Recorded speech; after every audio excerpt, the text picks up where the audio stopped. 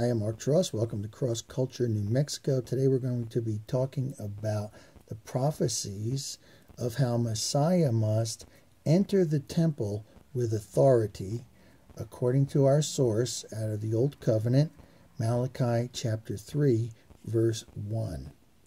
Behold, I will send my messenger, and he shall prepare the way before me.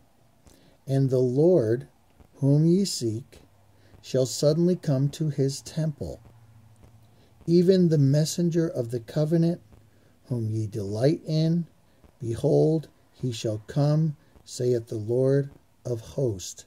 Now, Matthew chapter 3, verses 1 and 3 is the fulfillment in the new covenant of this prophecy, as well as Matthew chapter 21, verses 12 through chapter 24 verse 1. Today we're going to cover Luke chapter 2, verses 27 to 38.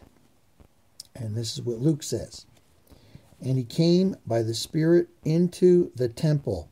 And when the parents brought in the child Jesus to do for him after the custom of the law, and that's also in Matthew 4, verse 1, then took he him up in his arms and blessed God and said, Lord, now lettest thou thy servant depart in peace according to thy word. Out of Genesis chapter 46, verse 30. For mine eyes have seen thy salvation, which thou hast prepared before the face of all people, a light to lighten the Gentiles and the glory of thy people Israel. Isaiah 42 6, Acts 13 47. It's about revelation, the revealing of the Word becoming flesh. And Joseph and his mother marveled at those things which were spoken of him. They were amazed. And Simeon blessed them and said unto Mary, his mother, Behold, this child is set for the fall and rising again of many in Israel, and for a sign which shall be spoken against as prophesied in Isaiah chapter 8, verse 14. Yea, a sword shall pierce through thy own soul also, that the thoughts of many hearts may be revealed. Psalm 42, verse 10. And there was one Anna, prophetess, the daughter of Phanuel, of the tribe of Asher, who was of a great age, and had lived with her husband seven years from her virginity. Acts 21, 9, and Joshua 19, 24. And she was a widow of about fourscore and four years, which departed not from the temple, but served God with fastings and prayers night and day. 1 Timothy 5 5. And she coming in that instant gave thanks likewise unto the Lord, and spake of him to all them that looked for redemption in Jerusalem. And that's Luke chapter 24 21, Mark 15 34, and of course, Jerusalem in Israel. Luke chapter 2, verses 45 through 50 says this When they found him not, they turned back again to Jerusalem, seeking him. And it came to pass that after three days they found him in the temple, sitting in the midst of the doctors, both hearing them and asking them questions. And all that heard him were astonished at his understanding and answers. When they saw him, they were amazed. And his mother said unto him, Son, why hast thou thus dealt with us? Behold, thy father and I have sought thee three thee sorrowing. Have you done this? Why have you done this to us? Mary asked. And he said unto them, How is it that ye sought me? Wist ye not that I must be about my father's business? They were looking for him. They should have known that he must be about his father's business.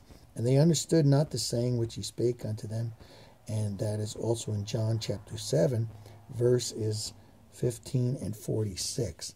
Now we're going to close with John, the Gospel of John chapter 2, verses 13 through 22.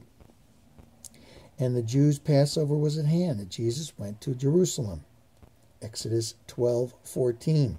Found in the temple those that sold oxen and sheep and doves and the changers of money sitting in Mark 11, verses 15.